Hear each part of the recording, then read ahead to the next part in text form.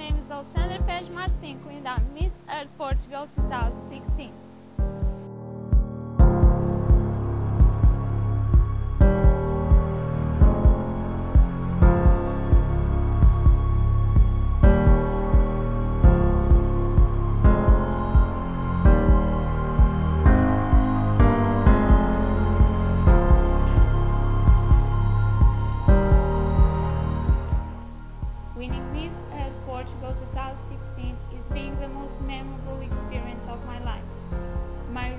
The grand final was very hard working, full of new experience, but the most important thing is that I grew up with it, not only in physical but psychological terms.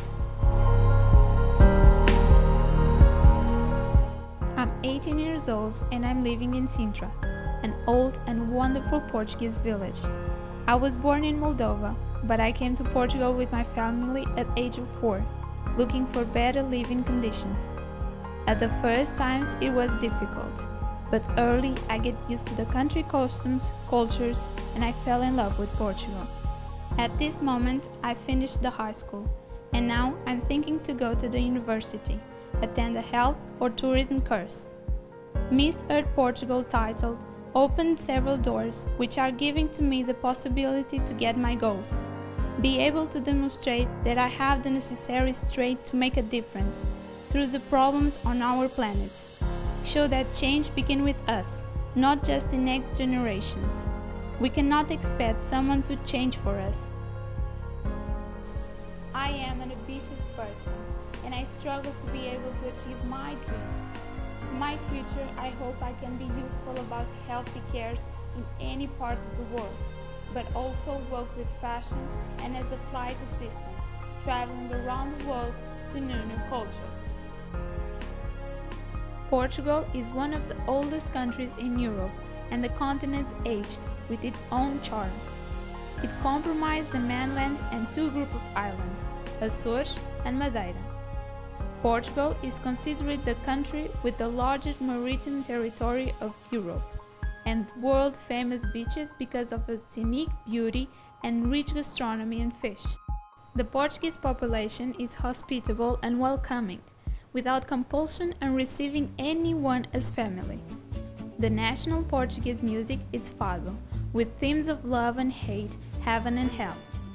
The national symbol is the black hook, meaning peace and prosperity.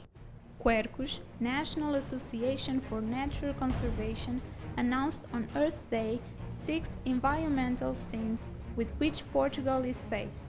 Identified as unsustainability of sins, these are the main problems related to the Portuguese environment. The National Plan for Sustainable Development fell by the wayside, a plan that has already been promised eight months ago but not yet put in practice. Portugal consumes more and more energy. Excessive traffic in circulation, very wastewater each year. Conservation of nature hasn't passed the practical part, still standing many projects and objectives expected to be realized.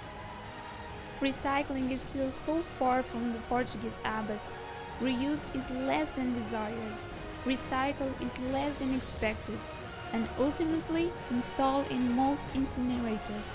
Therefore, it's time to reflect on the environment and what will be our near future. My first project started during my journey on Miss Queen Portugal, which consisted in a small challenge by asking my friends at social networks to share like me a short video or photos of recycling action project that aimed to encourage others to do this simple action and makes it usual. Recycling is a key component of modern waste management and it's the third component of the waste hierarchy reduce, reuse, and recycle. Recycle is also a way to make us rethink in our actions and show respect with Mother Earth. Another project which I joined was in order to promote ecotourism in my country. I joined the Municipal Council of Sintra and received tourists informing them about the places to visit and what option would have.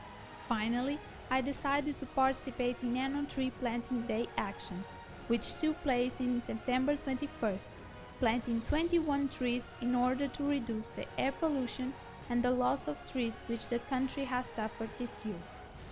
Fortunately, this year we have a bigger number of institutions participating with us, which cheer me up immensely.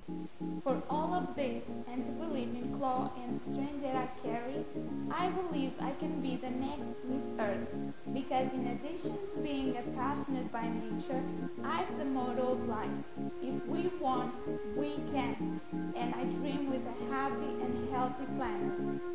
Therefore, I will work with all the people and organizations around the world to share this passion and instruct everyone from the youngest to the oldest. I believe the young age that I have will have sufficient strength and conviction to be able to make a difference.